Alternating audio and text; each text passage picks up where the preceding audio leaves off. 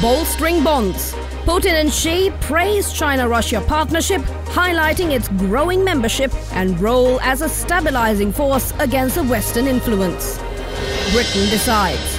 Britain's early general election sees Labour on the brink of a historic victory, poised to end 15 years of conservative dominance. Biden steady. White House affirms Biden will firmly stay in the race amidst 2024 election jitters, quelling Democratic doubts after a shaky debate performance. And champions reborn. Italians regain confidence and mobility through horse therapy after accidents at Rome's unique San Giovanni Battista Hospital. All that and more as World News Tonight starts right now.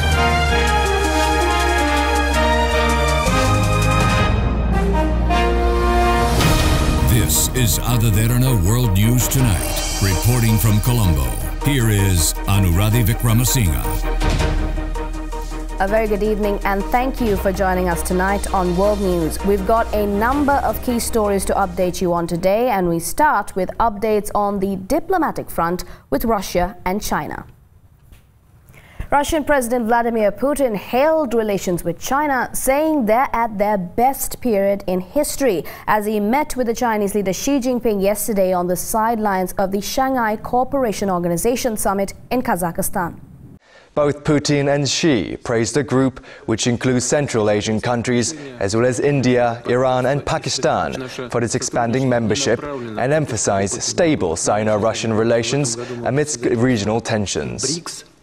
Putin also said those relations are not aimed against anyone, adding that both countries are acting in the interests of our peoples.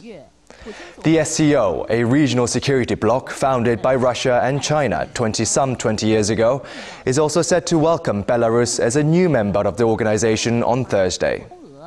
This year's two-day summit in Kazakh capital Astana, titled Strengthening Multilateral Dialogue, has security and stability at the top of the agenda.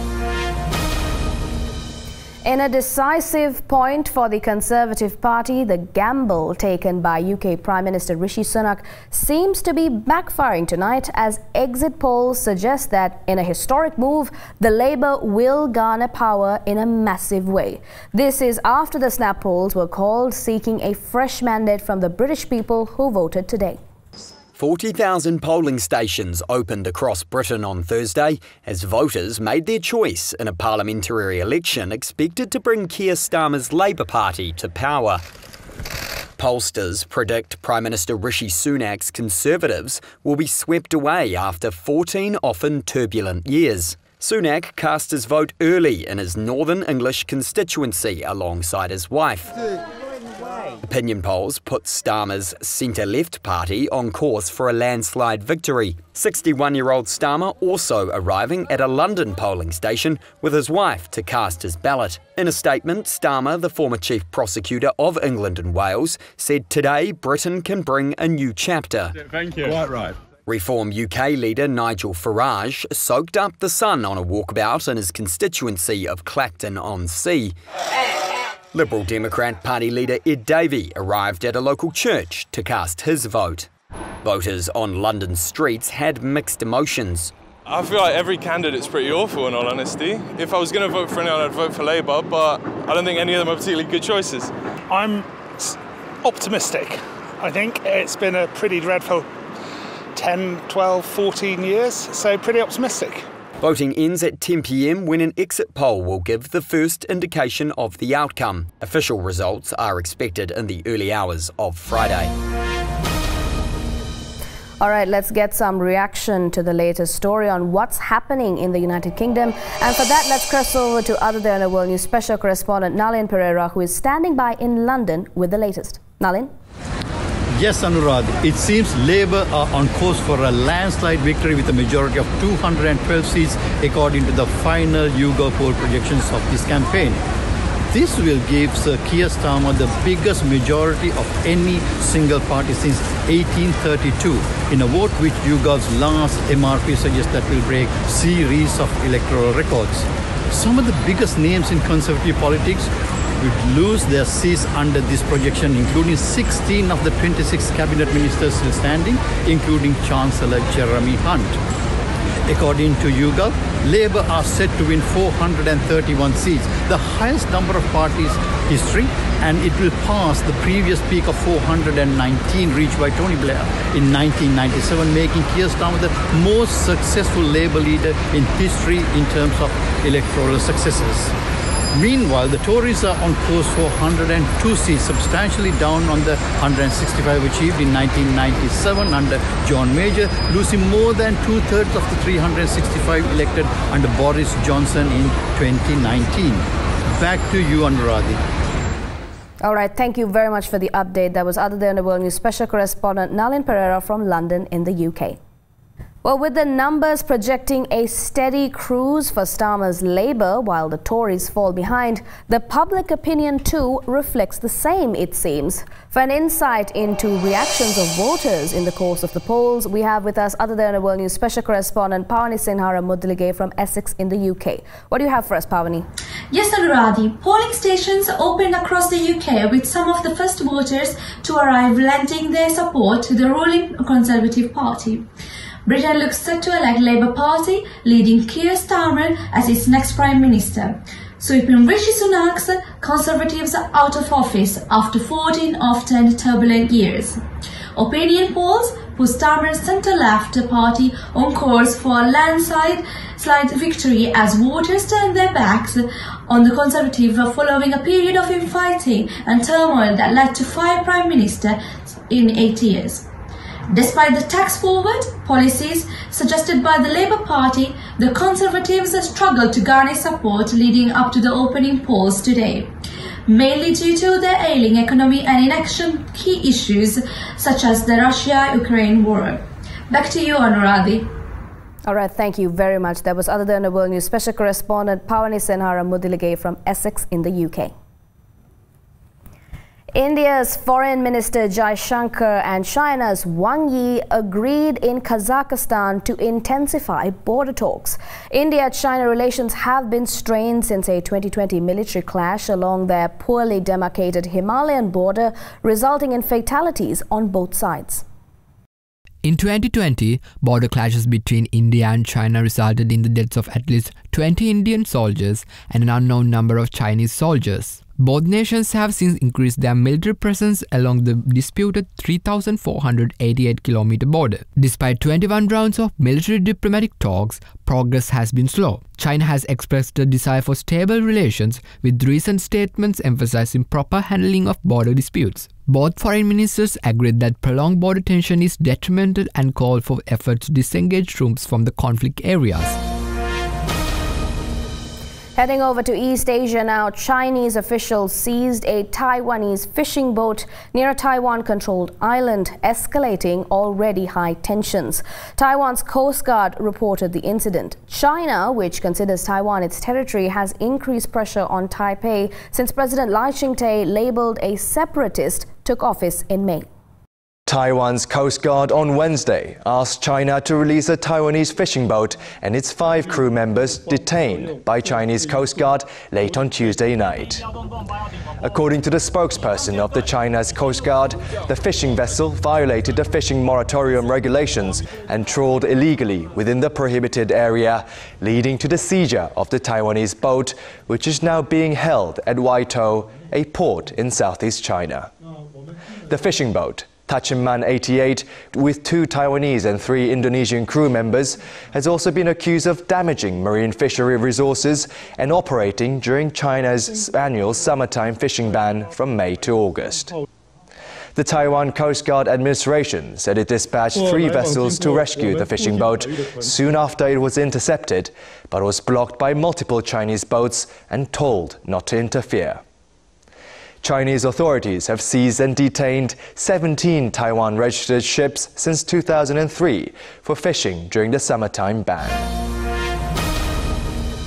A new update to the ongoing war now. Lebanese militant group Hezbollah has responded to the killing of one of its senior commanders by Israel with a rocket attack against its neighbor.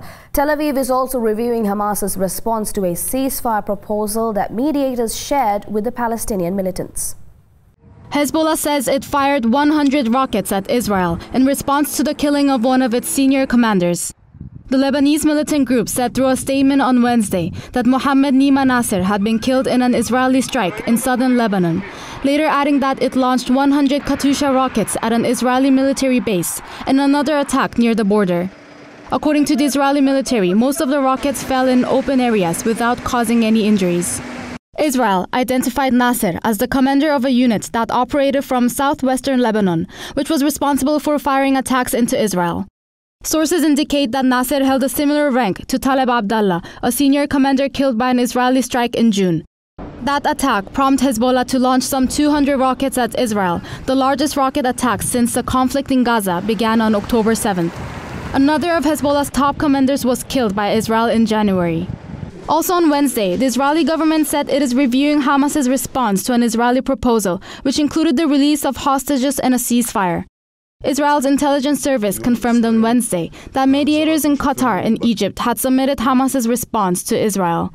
Hamas also confirmed that one of the group's leaders had engaged with mediators positively, but demanded a deal that includes a complete ceasefire. Let's take a short commercial break now. More world news on the other side. Stay tuned.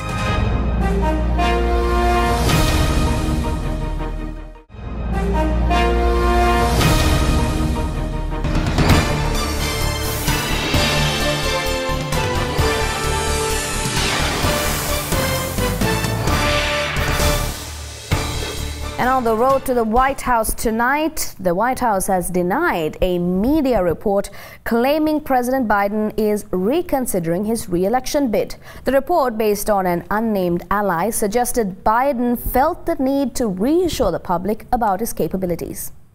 A report by the New York Times Wednesday led to a wave of speculation that U.S. President Joe Biden was considering dropping out of running for a second term. Headlined, Biden told ally that he is weighing whether to continue in the race. It seemed as if Biden was unsure if he could carry on after his subpar performance during a televised debate with Donald Trump.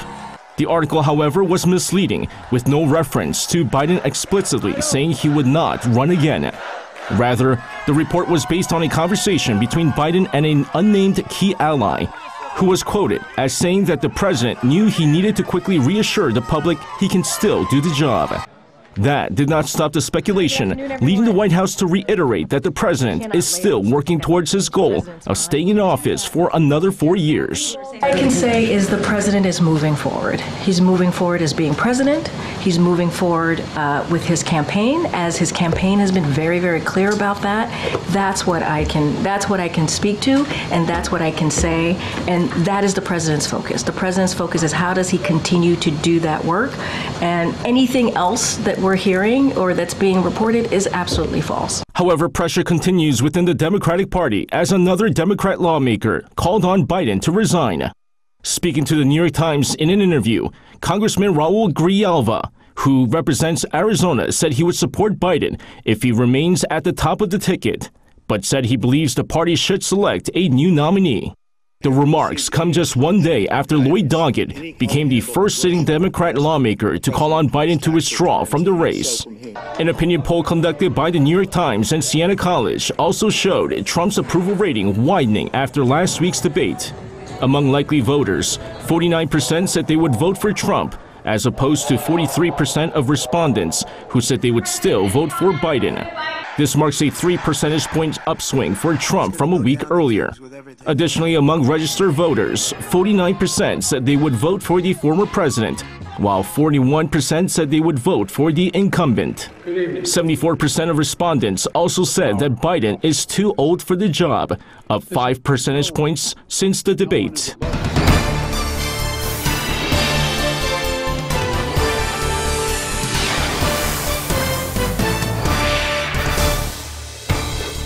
Hurricane Beryl struck Jamaica with deadly winds and rain, killing one and raising the death toll to at least 10 across the Caribbean. The Category 4 hurricane left a path of destruction with numbers expected to rise as communications improve.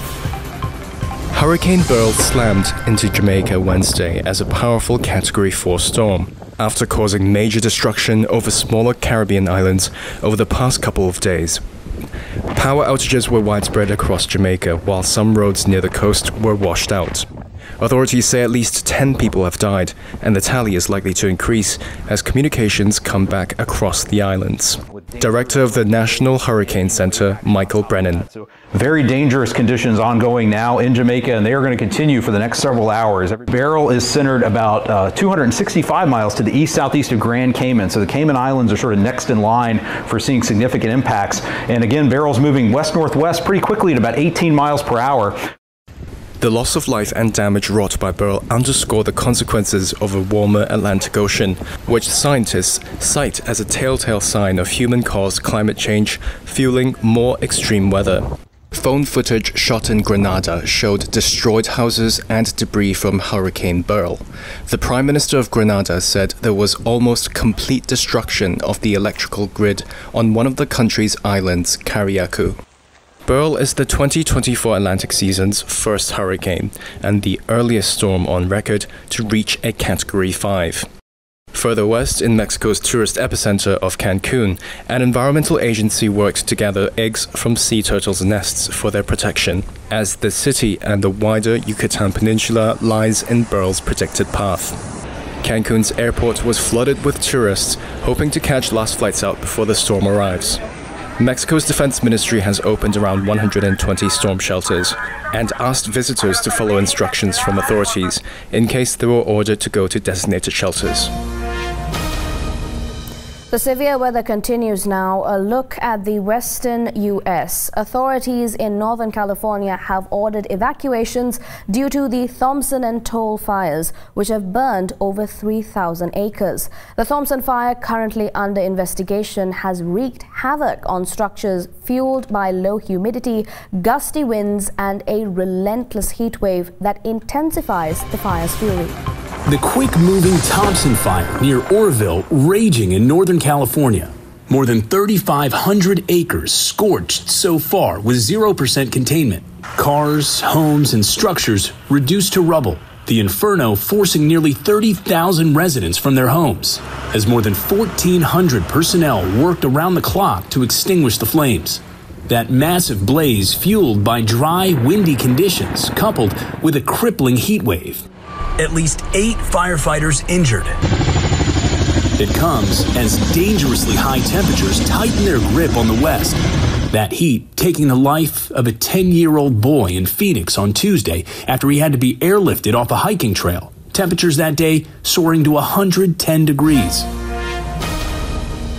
And now an update on the ongoing Kenyan protests. Protesters in Kenya continued to demand President Ruto's resignation over a controversial finance bill raising living costs. Demonstrations including tear gas and bonfires have intensified. Businesses are closed, highways are blocked and vehicles have been burned amid fears of escalating unrest. Chaos continuing on the streets of Nairobi, Kenya police clashing with demonstrators firing tear gas, hitting people with batons, and tossing others in the backs of police vehicles. One man, dressed in civilian clothes, firing off a gun on a sidewalk. The protest in Nairobi began because of a specific bill that would have raised taxes. Kenya's president, William Ruto, abandoned plans for the tax hike a day after the unpopular bill passed. But for many people, that was not enough. For Kenyans protesting, the bill was a symptom of more systemic economic concerns. And now they want the president to step down.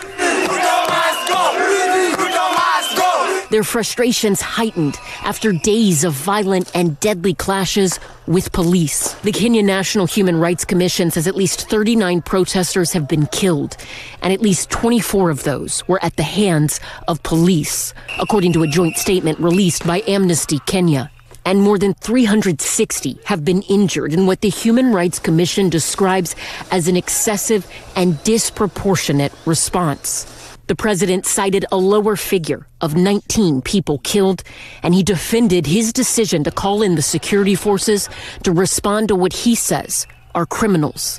I have no blood on my hands. As a democracy, that should not be part of our conversation. 2.4 billion of property has been destroyed. But protesters are refusing to back down. Stop and stop killing us! They say this fight is about their most basic right. We're going in for a short commercial break now. More world news on the other side.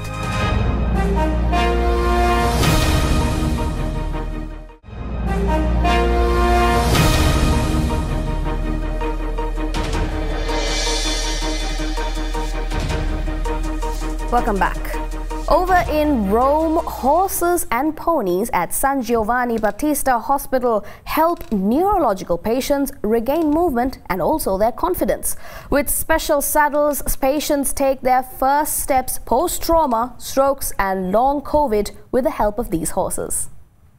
Matteo Santopadre braces himself before grabbing onto the saddle of a horse, his four-legged nurse for the day. The former shooting champion relies on a wheelchair after a month long coma following a car accident. He comes here to the San Giovanni Battista Hospital on the outskirts of Rome for therapy with horses, where he says the animals give him confidence. The hospital, which is in an area that used to host horse races, is the only one of its kind in Italy. The therapy horses help some neurological patients take their first steps after trauma, strokes, degenerative diseases, as well as long COVID. The patients can perform movements that would be harder to do in a regular gym, as they work on muscle strength, balance, and coordination. The emotional bond with the horses helps too. The hospital's program operates alongside traditional rehabilitation. It involves both horses and ponies, and in 2023, it had more than 600 patients. And that concludes our world news coverage for tonight. Join us again tomorrow for more key global updates. Stay tuned for the nightly business report with Sina Mayaduni. Thank you very much for watching. Have a good night.